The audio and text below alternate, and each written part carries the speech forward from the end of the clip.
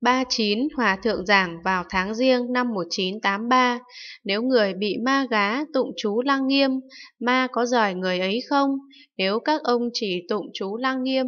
Thì bất kỳ loài ma nào đang gá trong ông đều phải bỏ đi, Với điều kiện là ông đạt đến trạng thái nhất tâm khi tụng chú Nếu quý vị tụng chú với tâm chuyên nhất,